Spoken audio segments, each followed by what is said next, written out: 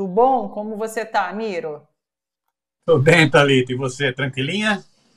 Tranquilo, tudo certo. É, respirando esse ar pesado, né? Tava dando uma olhada agora, inclusive mais de 200 cidades no Brasil com umidade menor ou igual à do deserto do Saara. É incrível, né? É um absurdo isso em relação às queimadas e ao meio ambiente, ao ar principalmente. Mas eu queria conversar com você sobre essa questão das betas, né? Porque, hum, bom, é algo que a gente tá para discutir já há um tempo, porque o que as bets têm feito aqui no Brasil é algo é algo absurdo também, né? Inclusive é, com muita gente perdendo tudo, perdendo a vida por conta dessas, dessa jogatina. É, e hoje a gente tem essa operação da polícia que atinge, ao, a, até o momento, pelo que a gente sabe, essa influenciadora, Deolane, e o Gustavo Lima, que são duas pessoas que esbanjam né, na, nas redes sociais riqueza e fortunas e muita grana, que a princípio a gente não sabe de onde vem. E talvez a gente comece a descobrir agora, né? Enfim, como você vê essa situação das bets? É, a gente precisa discutir mais a fundo, regulamentar talvez a atuação disso tudo, porque está fazendo mal, está fazendo mal para a nossa sociedade, não, Miro? Então, Thalita, essa, essa situação das bets, das apostas, né, dessa jogatina online, né, é uma coisa preocupante, muito preocupante. Isso é um movimento internacional, são grandes empresas internacionais, grandes corporações, né, que estão ganhando muita grana no mundo todo, estão ganhando muita grana aqui no Brasil.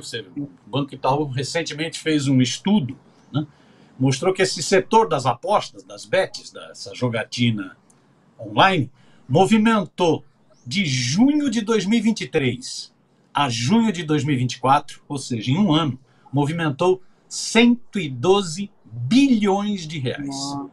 112 bilhões de reais. Mas veja só que coisa interessante.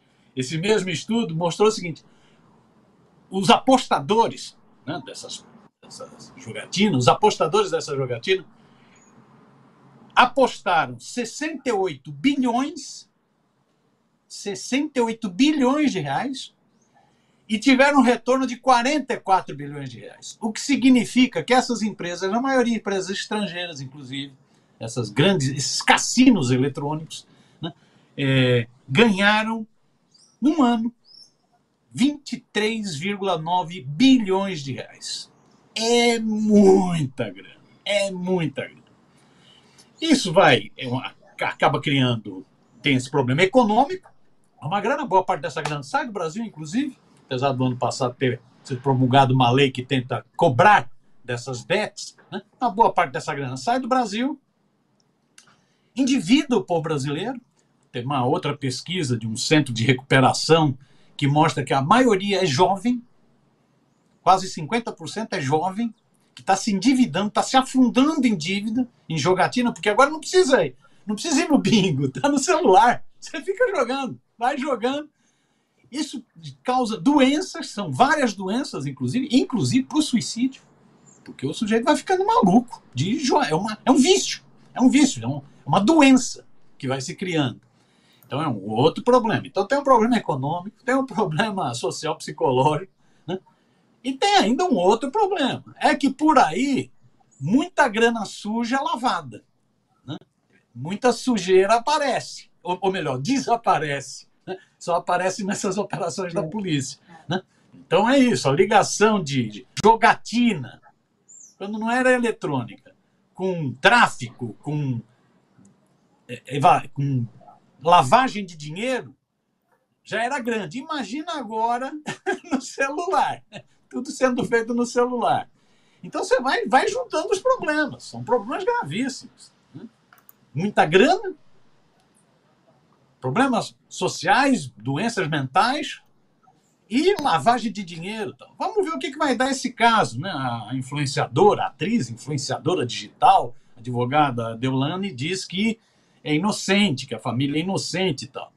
É, tem muita grana envolvida, muito luxo, o que você diz, uma ostentação impressionante. Jatos, iates, carrões de luxo tal. Ela diz que é inocente, que prove a inocência agora. O Gustavo Lima, o Gustavo Lima, ele é muito elétrico, né? No final de semana ele tá, deu um show em Goiás, é, anunciando seu apoio, estava lá no show o Marçal, aquele, esse criminoso que está disputando a eleição aqui em São Paulo. Estava lá o Marçal e ele pediu votos para o Marçal, disse inclusive que se o Marçal não for eleito é roubo. parece que aprendeu com alguém, né? Como ele é bolsonarista já de carteirinha, parece que aprendeu com alguém. E disse que o Marçal é irmão dele. Irmão dele, ele e o Marçal são irmãos. Né? Depois saiu correndo, foi fazer comemorar o aniversário dele na Grécia. Num iate de luxo na Grécia, um iate, um milhão de. Isso, esse aí. Um milhão a diária para esse iatezinho de luxo. Interessante, teve lá o governador de Goiás, Ronaldo Caiado, candidato a presidente, Teve lá o Nunes Marques também, o ministro do Supremo, é uma turma que se dá bem e tal. Né? Ele nega, ele disse que esse avião que foi apreendido lá em Jundiaí não é mais dele. Ele vendeu. Ele tinha quatro aviões, acabou de comprar mais um, inclusive, né? mas esse ele vendeu. Vamos ver. O Gustavo Lima vem metido em rolo.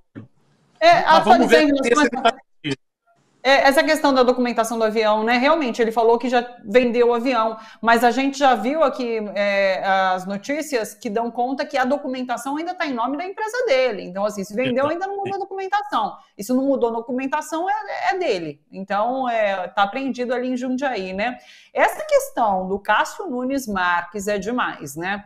Porque a assessoria de imprensa do Cássio Nunes, ó, ele ali no fundinho, tá vendo? Ele aparece nessa foto, ó, ali, ó, de branco. A assessoria disse que ele estava num evento, é, que ele foi dar uma palestra, num evento assim relacionado à educação em Roma, na Itália. E daí ele diz que deu um pulinho até a Grécia, até Mykonos, para parabenizar o Gustavo Lima nesse iate aí que vale é, é, um bilhão e foi alugado, inclusive, por Gustavo Lima ali na Grécia, né? Mas é, é muito absurdo, né? Você dá um pulinho é, na Grécia, você está na Itália, você vai para a Grécia para parabenizar um cantor sertanejo numa festa bilionária, né? Ali é, em Mykonos. Então é, é, é, tudo muito estranho crime, não é crime, mas tem uma questão do decoro, né? É o decoro do cargo. Ele é um ministro da Suprema Corte Brasileira. O que, que ele vai fazer num, num iate aí para para prestigiar um cantor sertanejo que no dia seguinte, inclusive, é alvo dessa, dessas buscas e apreensões por parte da polícia. Coisa que não ficaríamos sabendo se não fosse, inclusive, essa essa operação da polícia, né? Algo que eu fui ver depois, até saiu na imprensa assim, bem por, bem assim, é, é, por baixo, né? Mas é isso, temos um ministro do STF curtindo festinha em Mykonos no iate de Gustavo Lima. É, é, é, é tão absurdo essa história, esse capítulo Brasil, viu? Cada capítulo Brasil um mais absurdo que o outro.